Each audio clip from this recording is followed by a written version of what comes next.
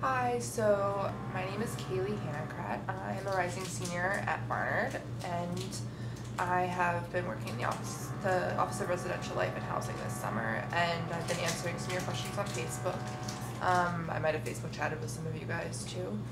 Um, and we've been collecting questions from you guys on Facebook actually about what, just about the first year experience and different things that you wanted to know about Barnard. And um, we're gonna be doing another series of interviews um, and videos based on these questions. Um, so we'll just have different office assistants of different years kind of answer these questions as well. So this is just, this is my interview. Um, so the first question we got was basically asking us to describe the feminist vibe and community on campus and um, with campus clubs.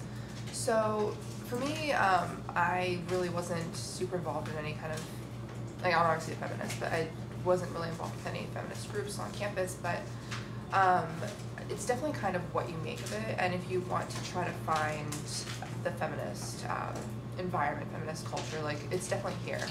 Um, there's some really great women's studies classes. There's great um, interest groups. There's um, different political groups that you can get involved with to um, work with women's issues. Like Smart Women Lead at Barnard's campus is actually really wonderful for that. So it's it's really like you do have to like try to make it what you want it to be. It's like if you're not really into a lot of um, feminist activism or anything, then it's not really going to inundate you. But it's definitely here. You just have to like know what you want from it. So the next question we had was, this is actually a hard question. What's the hardest part about being a first year at Barnard socially and academically? Um, for me, it was adjusting to city life. Uh, I ha- I'm from a really small town in Ohio, and I had never been to the city before, so it was just kind of getting used to the different pace of life here.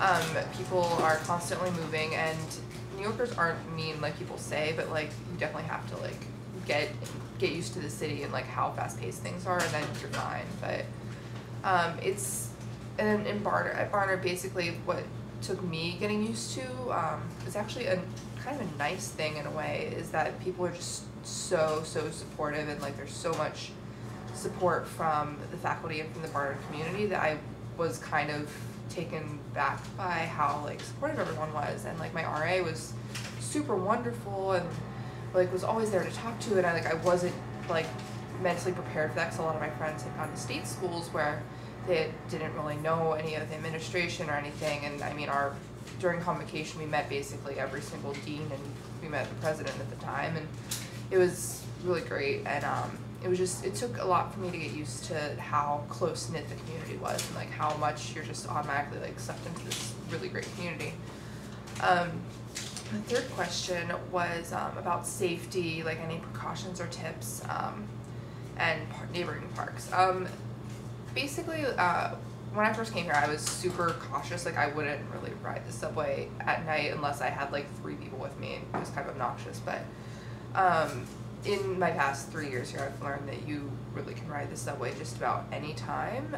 You just have to obviously be aware of your surroundings and not go into places that like are questionable. Like in general, New York is extremely safe, and so is our campus. Um, I, I mean, I've ridden the subway at like two in the morning before. It's perfectly safe. Um, our neighborhood's very safe. Like you can walk to Morton Williams or down to West Side at any time of day or night, and you're completely safe.